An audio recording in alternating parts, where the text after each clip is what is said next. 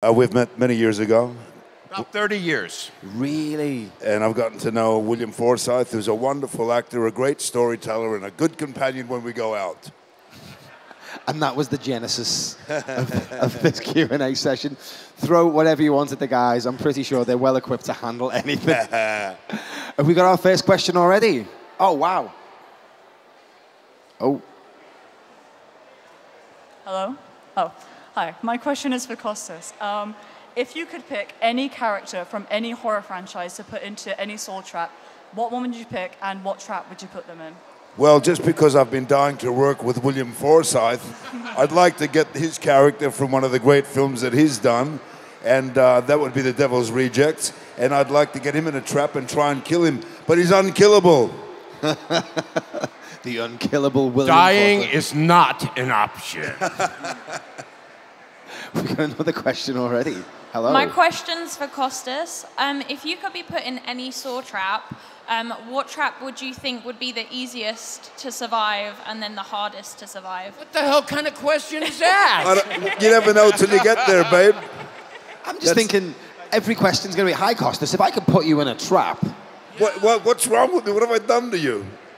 Costas would be driving home listening to Fine Young Cannibals. We're caught in a trap. Radio off. Good Kind old Can walk out. Elvis, I miss you.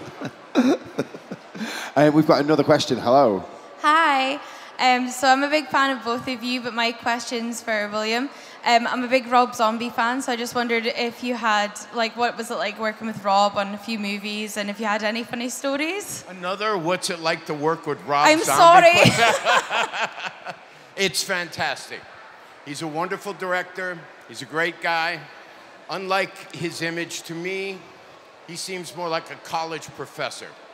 He's an awesome cat, and, and uh, let me put it this way when we work, he put a lot of trust in me, and I tried to run with the ball as far as I could. But a, a brilliant experience. Doesn't get better than that. Devil's Rejects is a gnarly film. It's like a nasty movie.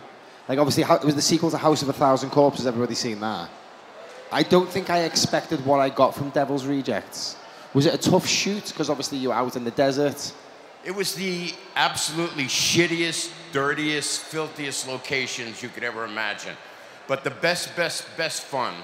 Um, I got to join the family of these crazy maniacs. By the way, free bird my ass. you know, it's like the brilliant experience, um, but absolutely filthy. I mean, we talked about it all the time. You, your sweat had sweat. It was absolutely despicable. But the, the time we got to spend together was absolutely fantastic. There's great, great people. I love all the people. I love, God bless you, Sid, up in heaven. You know, they're the best, the best. I mean, I would sit at dinner and have conversations with Sid, and we would talk about all the classic movies from the beginning of time, which apparently he was in every one of them. So it was awesome. Is the character, uh, sorry, the cast in a Rob Zombie film, he always picks like people that he likes or people that he knows, and people with a storied film history. So being on those sets must have been crazy to just have those conversations. He puts a lot of trust in the people that he hires. And, and believe me, if, if you didn't show up prepared, you, you would, it would be a living hell for you. But if you're there and you're there to deliver, uh, he puts a lot of trust in you. Uh, he, I mean, he encouraged me, which is fantastic for me because I can't stop myself. My, I, my world is if it's not Shakespeare, it's not verbatim, period. And he put a lot of trust, and we were able to produce like some really incredible moments. So We've got a question in the middle. these are so serious. These questions. I know. Hi guys. Um, Costas, last time we saw your character in the Saw franchise, he was locked in the bathroom. Do you possibly think you ever escaped from that bathroom? I have a brilliant plan to get out of the bathroom, but I can't tell you about it because I'll never work again for that franchise. But there is a possibility that's plausible. And for the fans that know about Saw, uh, there was a key that went down a drain in a bathtub. Did anybody remember that? I'll leave it at that. Okay. Mm-mm. Right. Yes. Um, hello. Uh, I've got a question for um, Costas. Um, hey, dude.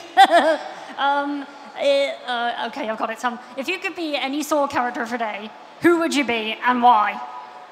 Me, because I'm me, and I can't be a girl, and I want to stay a little bit younger than Tobin Bell, and they're the only other two people I'd want to be. So I'll stick to me. I think that's a wise choice. Has everybody seen Saw X? In fact, more accurately, is there anyone here who hasn't seen Saw X? I don't want to. I, no, no. Leave immediately. Next question. Hello. Hi. Um, you were in Once Upon a Time in America, William, with um, Burt Young, who died very recently. Um, you were also with Joe Pesci in a particular scene with him. What do you remember about that scene in the bar? Was anything that really stood out to you in that scene? Definitely. Bert, Bert was, first of all, God bless him. Bert was one of the sweetest guys in the world, but, you know, Bert, Bert's a rough customer. He was great. I was doing a thing in that scene where I had a match in my mouth. And I was purposely, I'm flipping the match over and over during the scene. And at one point, Bert looked at me. And I'm telling you, I mean, I about took a shit. He looked at me so intensely, and he used it in the scene. And the next thing you know, the scene went to a whole nother level. And he was a great actor, and, you know, I mean, I, I, it's very rare that I feel really sad when somebody's gone. Bert, Bert gave me a lot of advice as a young actor. He really did. He went out of his way to tell me always do better, always do your best. And, you know, th- there's no better advice than what we do at all. Legend. All the way at the back. Hello. Uh, question for Bill. Uh, Bill, big fan of your work. Boat drinks, by the way. um, Coen Brothers. Raising Arizona, one of my favorite films. Anyone who's ever been in a Coen Brothers film, I have to ask, what was it like? Um, I'm not sure they liked me in the end because I didn't end up doing another movie with them. I was going to ask why that but- why that never happened as well. But that does happen. I think that Raising Arizona ended up being one of the great, great Coen brother films. My personal experience, it was incredible. I'm kind of a kind of a methody, let's call me kind of actor, so I take things very seriously, but I love comedy. The time on that set, I would watch those guys. I mean, I love watching people. Joel would just stand there looking all thinking, and he would just get circled. You know, Ethan would circle him. And then suddenly, all at once, they would both turn around and say the exact same things.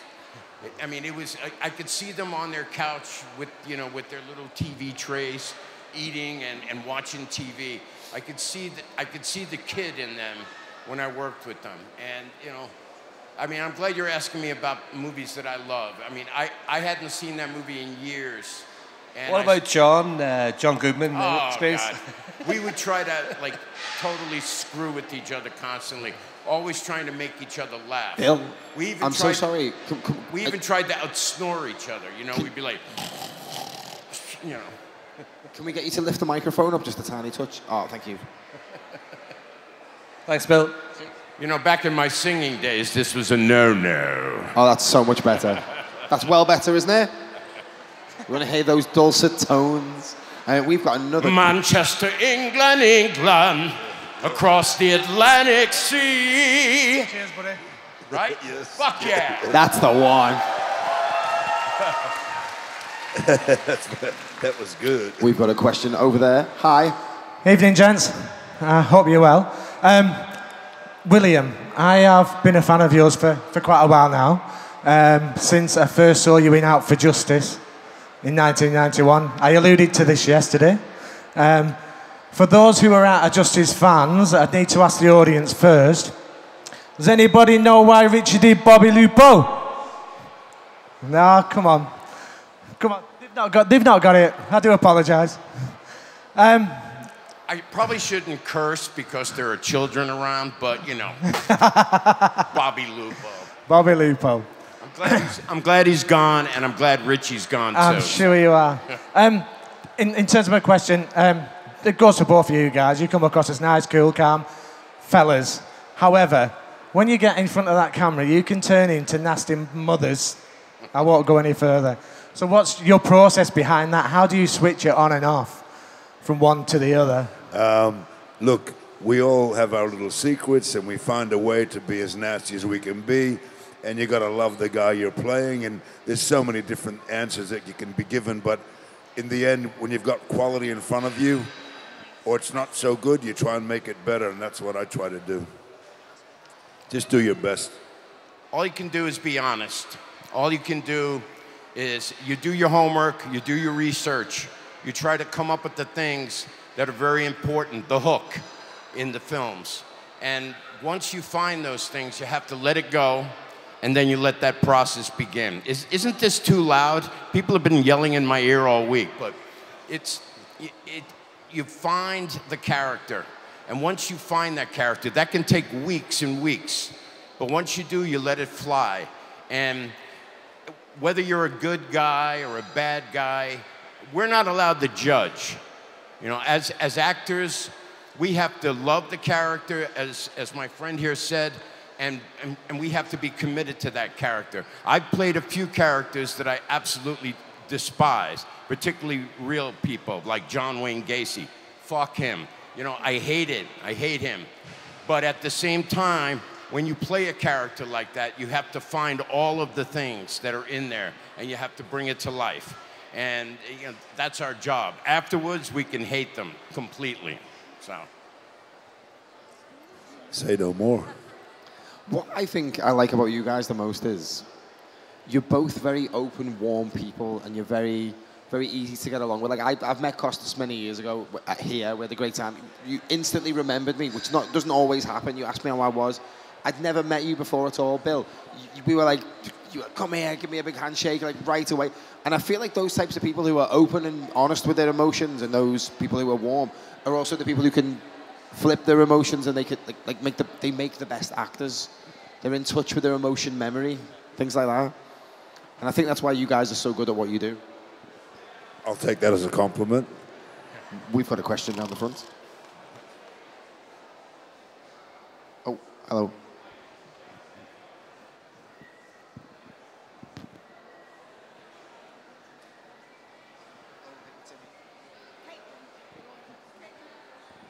Um, is, is there a Caitlin Perry anywhere? If there is, please come to the front of the stage or go to the office.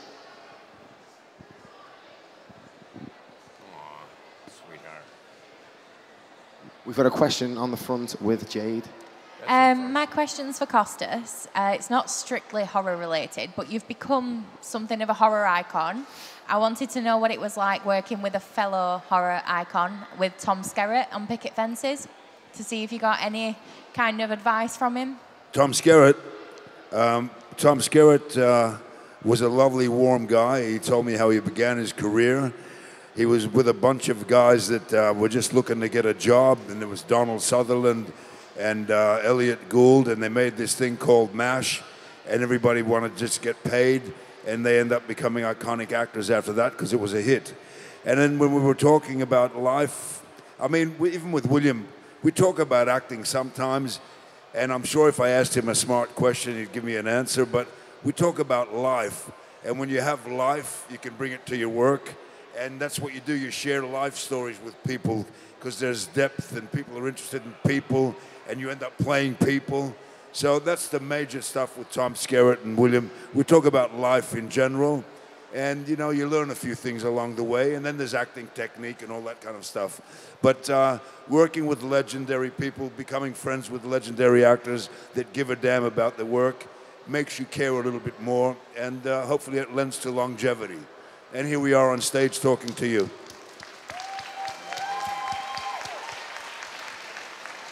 Got one, another one in the front row. Hello, uh, it's for William. Um, your dialogue in The Devil's Rejects is amazing. I was just wondering how much of that was you and how much of that was written, and do you have a favorite line from the film? Well, there's a lot of great lines that are written in The Devil's Rejects, many great ones. But like I said, Rob gave me a lot of freedom to create, and, and I took it. And there's a lot of, lot of lines in that movie that are, you know, came out of the moment. Came, like, like I told the story probably already, but we were doing the scene with the film critic, which is my personal favorite scene. And suddenly, you know, that guy is knocking Elvis. It was not in the script. He, him knocking Elvis was. But I told, I, I told Rob, I, I said, please, I go, I can't let this guy knock Elvis. He goes, do whatever you want.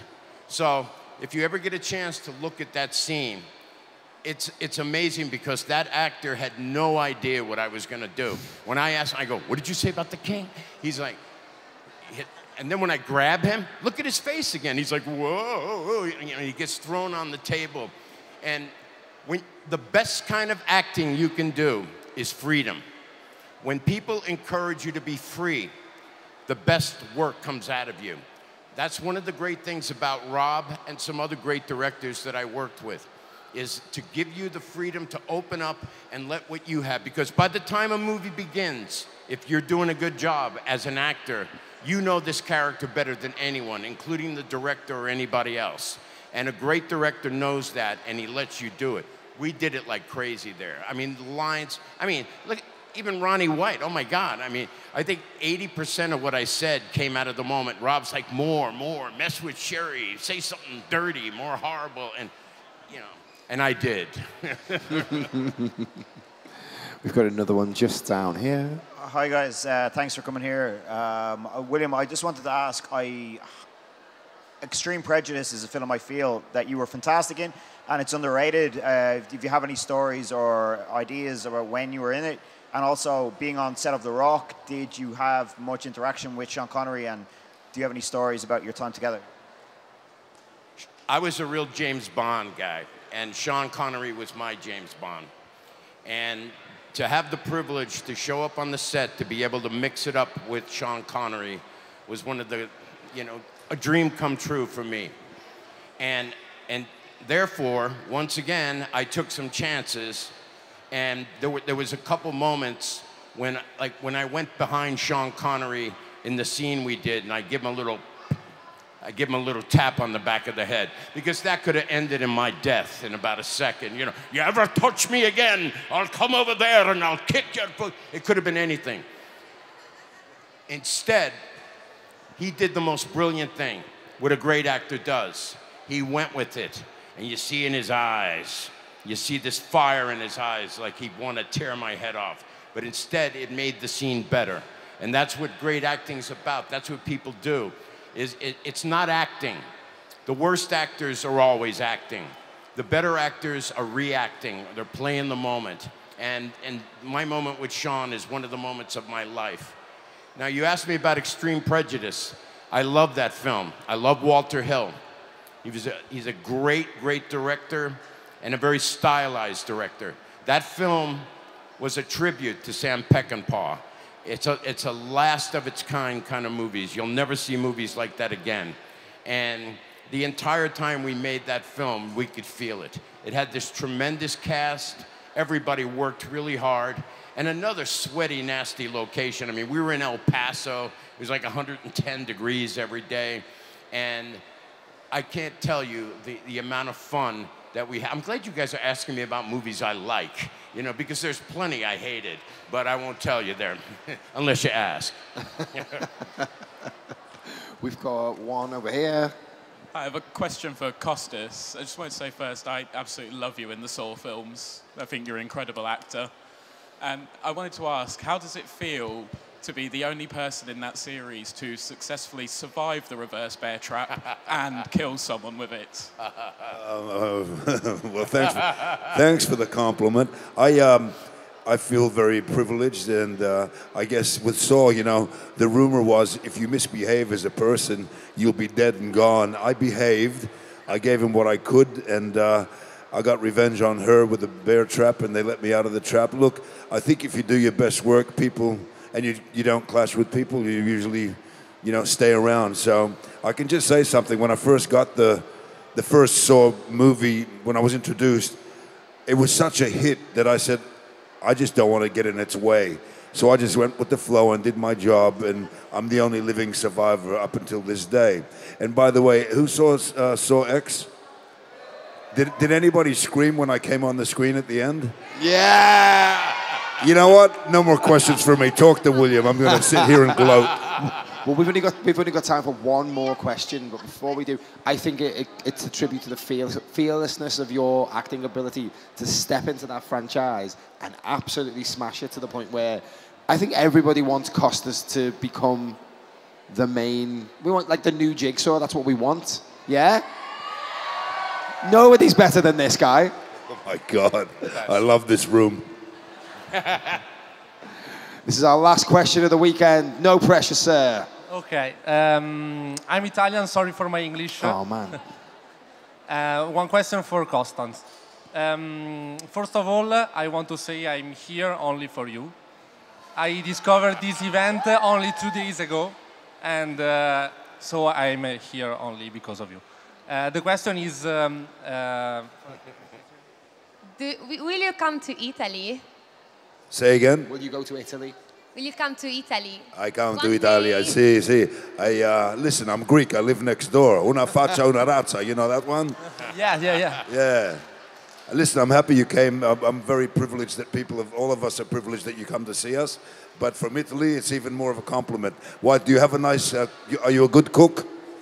Mm, no, No, but, but we found a good restaurant somewhere, correct? not yet. Not I yet. Uh, Okay. Tell me, tell me something. Um, I love Italy. I want to say uh, I was the only person uh, who screamed uh, during the last uh, scene of uh, Saw X. Really? I really, literally, I really, literally screamed. I love. I, I, I love your you. I don't, ti amo, ti amo. I don't want to Ti amo say. anch'io. Sì. Ti amiamo! Ti amo, yes. I, don't think we could end this panel in a better way. We just said we love each other in Italian. Costas has found love with Italians. We're ready to go to Cinecittà anytime Yes, and star in a movie together. I'll just have you know. Motore. Yeah. Guys, I'm so happy that we could get Costas in a panel. And Bill, it's been an absolute pleasure having you with us this weekend. You guys have brought me nothing but joy. Honestly, seeing you interact last night, I was just like, these dudes. God bless you guys. You're the best. Thank man. you We- so much. Give it up for Costas and Bill.